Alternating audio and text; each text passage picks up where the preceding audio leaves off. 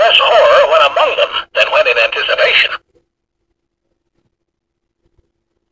The Southern Rebellion was largely the outgrowth of the Mexican War. Nations, like individuals, are punished for their transgressions. We got our punishment in the most sanguinary and expensive war of modern times. It is probably well that we had the war when we did. We are better off than we would have been without it, and have made more rapid progress than we otherwise should have made. Now our republic has shown itself capable of dealing with one of the greatest wars ever made, and our people have proven themselves to be the most formidable in war of any nationality. But this war was a fearful lesson, and should teach us the necessity of avoiding wars in the future. I know only two tunes. One of them is Yankee Doodle. The other isn't. Ah, you know my weaknesses. My children and my horses. Look after our dear children, and direct them in the paths of rectitude. With these few injunctions, and the knowledge I have of your love and affection, and the dutiful affection of all our children, I bid you a final farewell until we meet in another, and I trust, better world. You will find this on my person after my demise. It was my fortune, or misfortune, to be called to the office of Chief Executive without any previous political training. The will of the people is the best law. I have acted in every instance from a conscientious desire to do what was right, constitutional, within the law, and for the very best interests of the whole people. Failures have been errors of judgment, not of intent. Leave the matter of religion to the family altar, the church, and the private school, supported entirely by private contributions. Keep the church and state forever separate. I know no method to secure the repeal of bad or obnoxious laws so effective as their stringent execution. Labor disgraces no man. Unfortunately, you occasionally find men who disgrace labor.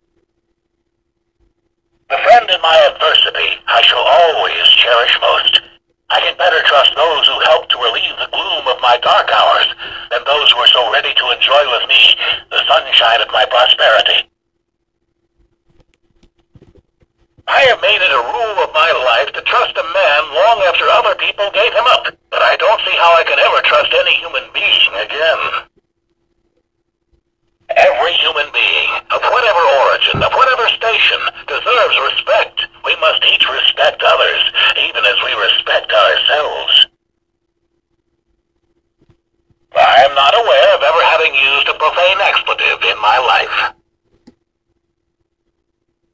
The right to revolution is an inherent one. When people are oppressed by their government, it is a natural right they enjoy to relieve themselves of oppression, if they are strong enough, whether by withdrawal from it or by overthrowing it, and substituting a government more acceptable. Although a soldier by profession, I have never felt any sort of fondness for war, and I have never advocated it, except as a means of peace. The art of war is simple enough. Find out where your enemy is. Get at him as soon as you can. Strike him as hard as you can. And keep moving on.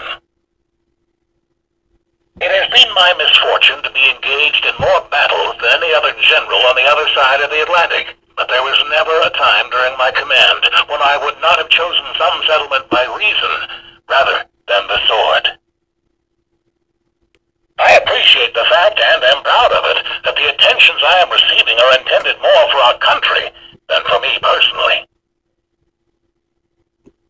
I never held a council of war in my life. I heard what men had to say, the stream of talk at headquarters, but I made up my own mind, and from my written orders, my staff got their first knowledge of what was to be done. No living man knew of plans until they matured and decided.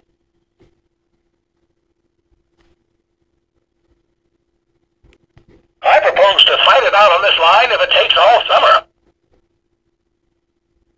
There was never a time when, in my opinion, some way could not be found to prevent the drawing of a sword.